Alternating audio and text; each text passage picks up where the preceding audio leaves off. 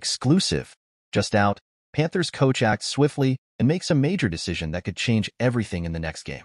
I'm going to tell you all about it, but before that, hit the like button and subscribe to the channel if you're a true Panthers supporter.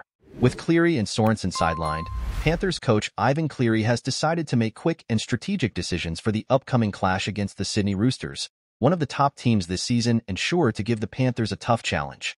Cleary has confirmed that Brad Schneider will take on the number 7 jersey, marking his return to the NRL after a season in England. This is a golden opportunity for Schneider, and fans are eager to see how he'll perform.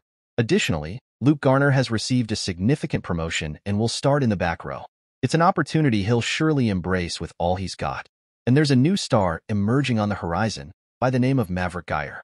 Son of the 1991 Grand Final hero, Mark Geyer, Maverick is ready to make his NRL debut, and he couldn't be more thrilled.